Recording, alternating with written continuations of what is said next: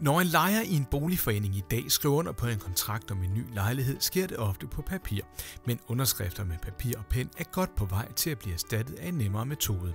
Boligbranchen er nemlig et af de områder, som for alvor er blevet udfordret af, at det er blevet dyrere og langsommere at sende fysiske breve. Og med flere hundredtusinde årlige kontrakter, som skal ekspederes, kigger boligselskaberne nu i stigende grad mod digitale underskrifter.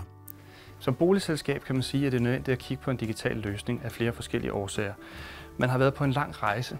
Man er faktisk relativt digital inden for nogle områder i dag, men der er væsentligt flere fordele at hente.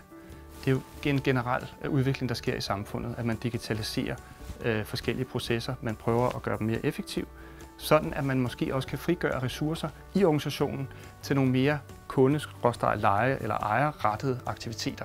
Man vil hellere have, at ens betjener, for eksempel administratorer i det enkelte boligselskab, sidder og taler med lejerne og ejerne, svarer på henvendelser, er proaktive over for dem, end at de sidder og bruger tid på øh, ikke øh, kunderelateret tid.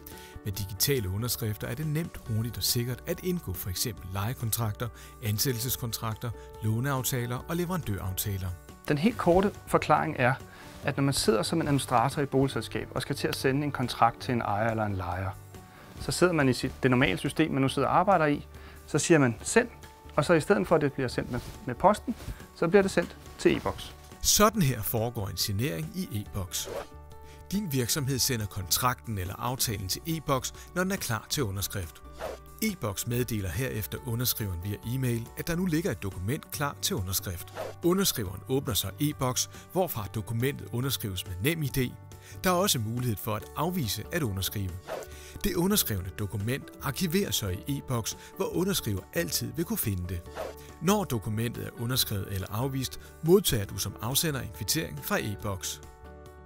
Hos Boligadministrationsselskabet DAB, som håndterer omkring 54.000 almene boliger fordelt over hele landet, har man i høj grad kunne se fordelene ved at tage de digitale underskrifter i brug. I DAB begyndte vi at se på digital signering for 3-4 år siden. Og det gjorde vi jo som en del af vores øh, løbende øh, udvikling på at blive mere effektiv i vores administration. Så det er naturligt for os at se på, hvad er det, hvor er det, vi kan spare øh, ressourcer og økonomi hen. Besparelserne øh, omkring øh, e-boks og signalløsning ligger jo både i økonomien, som er det rent sådan øh, hardcore økonomiske, men der ligger også rigtig meget potentiale i at spare arbejdstid. Fordi vi jo øh, i dag håndterer rigtig meget papir frem og tilbage i forbindelse med udsendelse.